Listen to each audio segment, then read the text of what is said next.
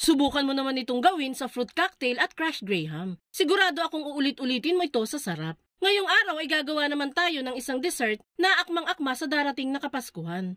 Yung pangkaraniwan kasing graham fruit cocktail ay bibigyan naman natin ng kakaibang version. Kaya ano pang hinihintay natin? Let's start!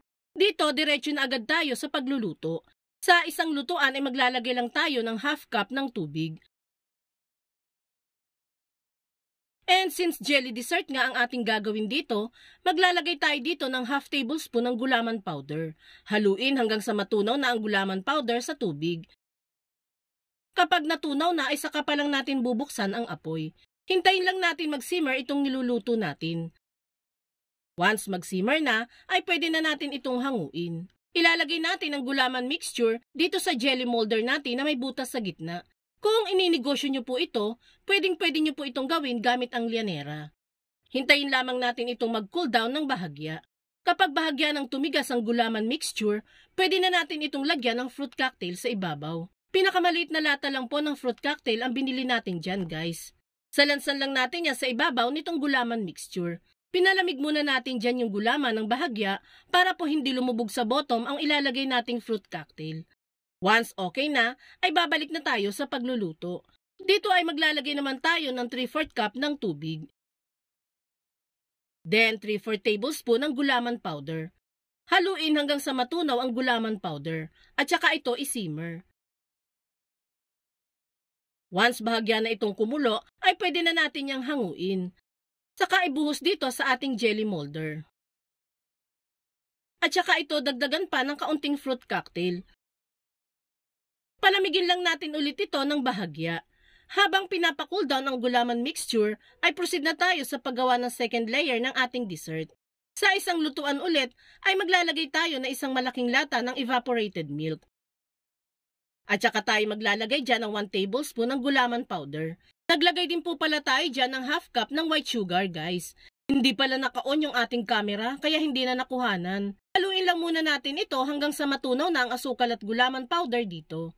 Once matunaw na, ay buksan ng kalan sa high heat at hayaan ito mag-simmer o kumulo ng bahagya.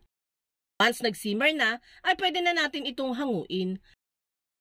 Parahan natin itong ibubuhos dito sa ating jelly molder. Kapag nalagay ng lahat ng mixture, ay ilalagay na natin lahat ng natirang fruit cocktail dito. After niyan, ay palamigin ulit natin itong gulaman mixture. Habang pinapalamig ay gagawa naman tayo ng pinaka-base ng ating dessert. Dito ulit sa ating lutuan ay maglalagay tayo ng 1 and half cup ng tubig. Sunod ay 1 tablespoon ng gulaman powder. Maglalagay din tayo dito ng half cup ng segundang asukal. Haluin hanggang sa matunaw na ang gulaman powder at asukal. At saka ito bahagyang pakuluan. Kapag bahagya na itong kumulo, ay maglalagay na tayo dyan ng 3-4 cup ng crushed grahams. Haluin hanggang sa bahagya ng kumulo itong gulaman mixture. Once okay na, ay pwede na natin itong hanguin. Dali-dali lang natin itong isalin sa ating jelly molder guys dahil medyo mabilis pong matuyo at mabuo itong ating mixture. Once okay na, ay palamigin muna natin ito ng isang oras. At kapag lumamig na ito, ay ipapasok natin ito sa ref na magdamag or at least 5 hours para po mag-set ng maayos itong mga gulaman. Makalipas ang magdamag sa ref, ay pwedeng pwede na natin itong i-unmold dito sa ating molder. And ready to serve na ang ating napakasarap na Jelly Graham Fruit Cocktail. Itsura pa lang nito guys, talaga namang madadama mo na agad ang kapaskuhan. Isa pa ay napakadali lang din gawin itong bagong version natin ng Graham Fruit Cocktail. Pwedeng pwede niyo po itong pagkakitaan kahit hindi pa nasapit ang kapaskuhan. Kaya try mo na din gumawa nito. Paano guys?